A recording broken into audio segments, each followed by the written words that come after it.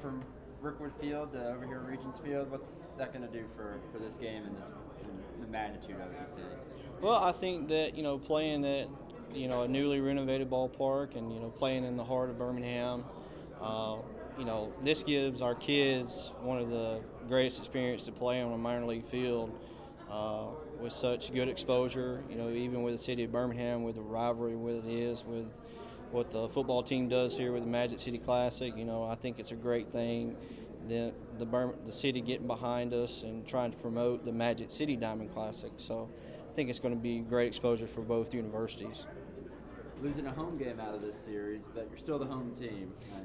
Yeah, you know, when we first started this two years ago, uh, when we did it at Rickwood, we did it. We did our home game three game series at Rickwood, and we were able to take two games out of three the, the first year we did it. So so we won it. You know. Then last year we only did one game because uh, for some reason or another we couldn't get the other two games at Rickwood, and Alabama State ended up winning for the second year.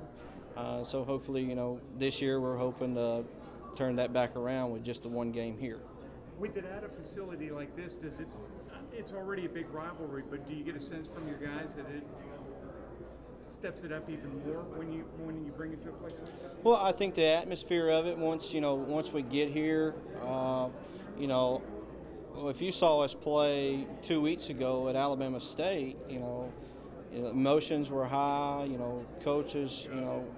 You know, we're just doing everything we could to keep the peace between the teams because the rivalry was so heated, especially after we took the one win that Saturday, and then the Sunday game was even more it was just sense of urgency. Everybody was, you know, wanting to win the ball game, wanting to win the ball game, wanting to win the series.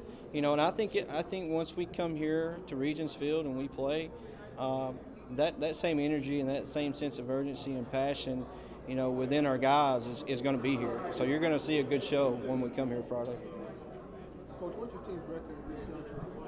Uh, we are five and 17 as of right now. We, you know, we, we play a tough Division One schedule. Uh, we don't shy away from playing bigger schools. You know, we feel like if we can compete and you know beat the mid majors, uh, the Conference USA, the Sun Belt Conference type teams, we can compete within our conference as well. And that's what you know. That's what we've been able to do the past couple years. Uh, like I said, you know, we, we've taken a, a, hit this past weekend. You know, so we got to get back on track. Greatest benefit you may have answered this question already. The greatest benefit to being in this, this venue, being here was? I guess well, the greatest venue, the greatest, like you said, yes, recruiting plays a factor into that. Being able to play in a nice ballpark like this, and also just you know just the exposure. Uh, I'm sure we'll have some major league scouts down here come and look at some of our guys. Uh, and, and that's just always a great opportunity, and it's a great recruiting tool as well, where you can put your guys in front of major league scouts to get the opportunity to move on.